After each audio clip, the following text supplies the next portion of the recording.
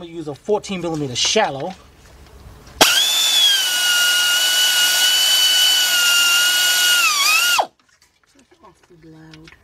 Yeah.